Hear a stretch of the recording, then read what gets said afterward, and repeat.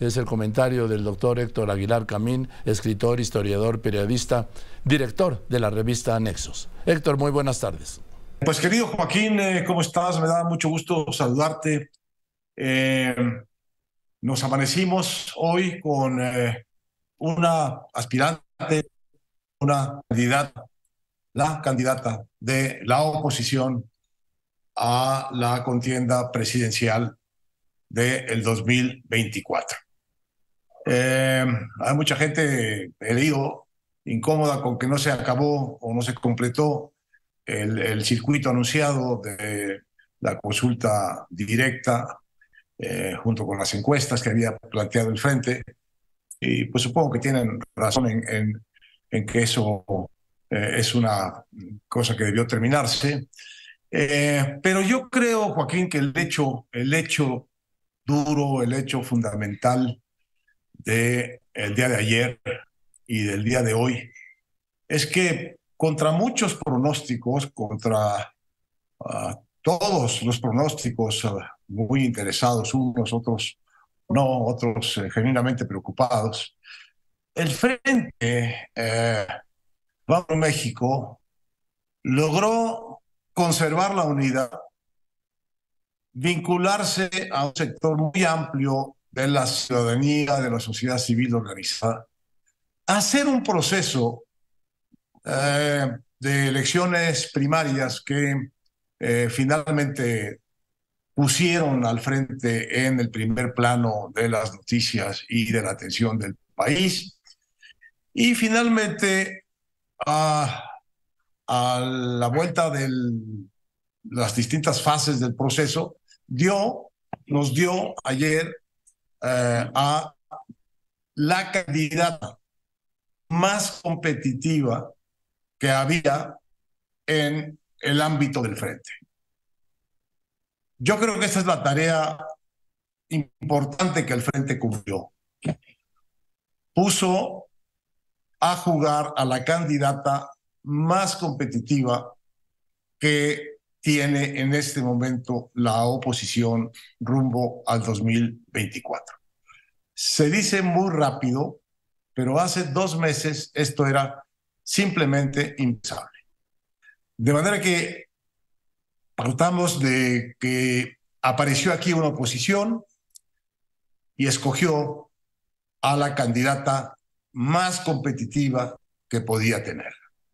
No es por logro político, me parece de hecho un logro político extraordinario y que pone a la ciudadanía que no está de acuerdo con la manera como se ha gobernado el país en estos años, pone a esa ciudadanía frente a una opción creíble de eh, oposición y de sustitución del el gobierno actual. Y eso me parece a mí que es un bien público de una extraordinaria importancia. El eh, Frente hizo esto, ya visto en su conjunto, con rapidez, porque como repito, hace dos meses realmente no podíamos anticipar mínimamente esto. Eh, yo diría que pese a todas las críticas y la batalla, digamos, de opinión interesada, una, otra, no, otra, genuina, eh, los costos que pagó el Frente por esto eh, no fueron muy altos, redujo realmente los daños. Y el último daño que redujo fue evitar ir a esa consulta directa, porque por lo que voy leyendo, Joaquín, eh, realmente eh, la capacidad de organización que mostró el Frente para montar esta consulta fue muy baja. No cualquiera se vuelve un INE de la noche a la mañana. Había, eh, por los reportes que uno lee, mucha desorganización, ahora sí que las casillas estaban a medio coser y el horizonte era pues un llamado ridículo, y a la intromisión gubernamental. Y decidieron, con buen sentido, creo yo, evitar ese desgaste final. ¿Por qué? Porque tenían ya una ganadora clara, más que clara, de la contienda y la tenían en la encuesta en donde Xochitl Galvez aventajaba por 15 puntos a Beatriz Paredes. Suficiente. Eh, no había que prolongar el riesgo de, eh, en una consulta final, pues tener un espectáculo que podía, eh, imprevisible, pero que podía justamente manchar en, su, en su último momento un proceso que ya estaba sobradamente definido y en el mejor sentido definido. ¿Por qué? Porque había caído del lado de la candidata, insisto, más competitiva que hay en el ámbito de la oposición.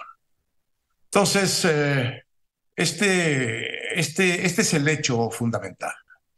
El otro hecho que está implícito en lo que acabo de decir es, ¿por qué el miedo a la intromisión gubernamental en esta consulta directa?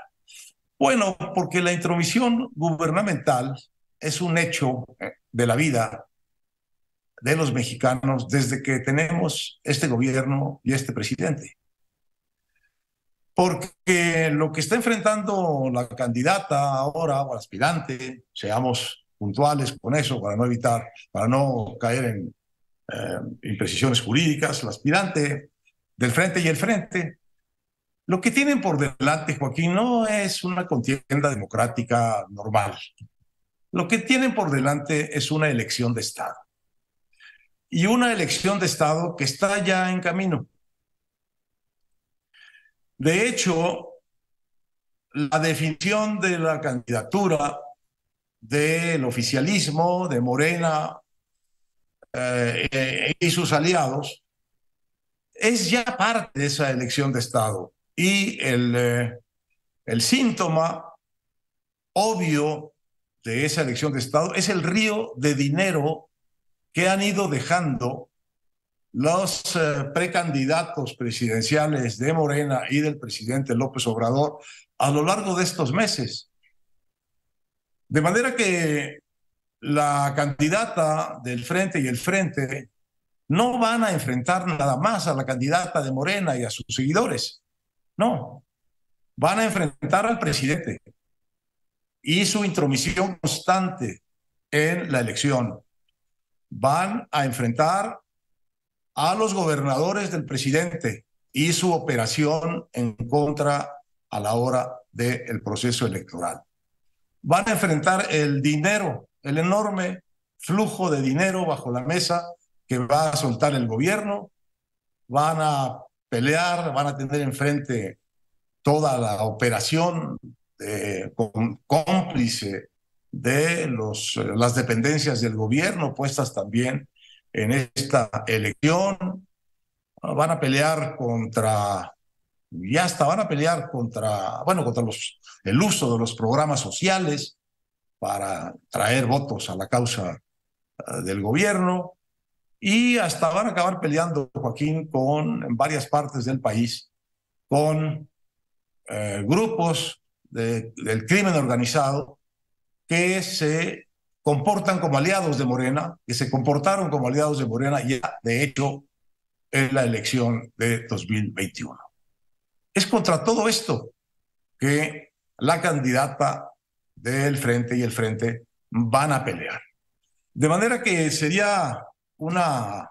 Ah, por cierto, van a pelear también contra, contra los medios, contra los grandes medios, Joaquín, que hasta la fecha, pues no sé cómo, no, no sé cómo lo han hecho, pero lo han logrado.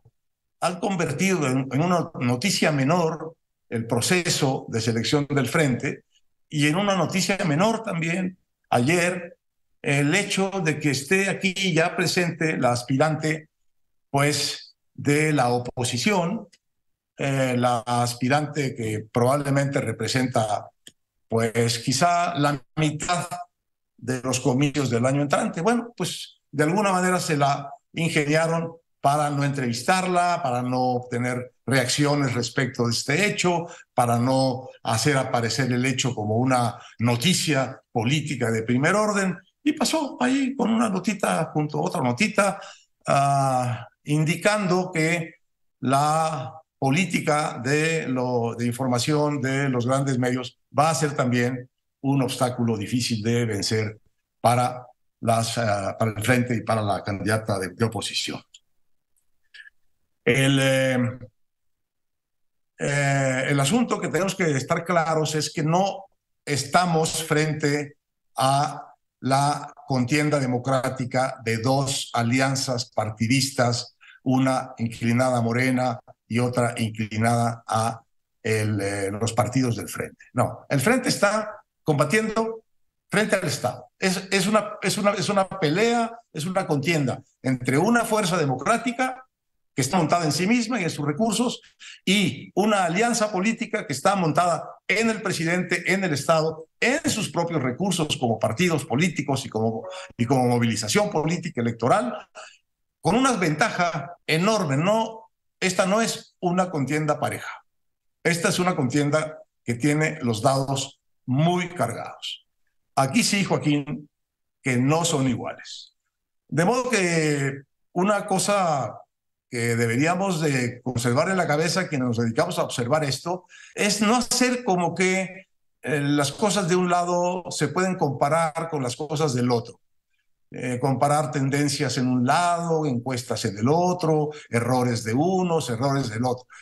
Sí, hay que hacer todo eso, pero sin olvidar que una de esas fuerzas tiene de su lado la fuerza del Estado la decisión del presidente de intervenir la elección, la decisión de, del presidente de llegar hasta donde sea para no perder esta elección. Entonces, no son iguales. Ya de inicio son fuerzas disparejas, abusivamente eh, desiguales por parte del gobierno. Y sin embargo, está, estamos hablando de un proceso democrático. Y ese proceso democrático tiene su palabra que decir y sus votos que, emitir cuando llegue el momento.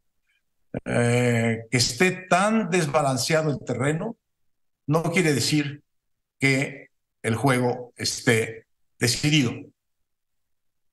Quiere decir simplemente que ahí está el terreno abierto y que van a los ciudadanos a tener algo que decir en ese terreno y algo que imponer, si lo quieren, de su voluntad respecto de los cambios que ese terreno debe tener. Así que en condiciones de dados cargados, está empezando aquí la fase final de la contienda por el poder en México, la fase que nos conduce a la elección presidencial de 2024. Y el hecho, el hecho duro, la tarea cumplida del frente es que ha podido traer al frente a la candidata de oposición más competitiva que había. Y este es el hecho, Joaquín, que me parece digno de ser subrayado, pues hoy y en los días que vienen. Te mando un fuerte abrazo. Y ese es hoy el comentario de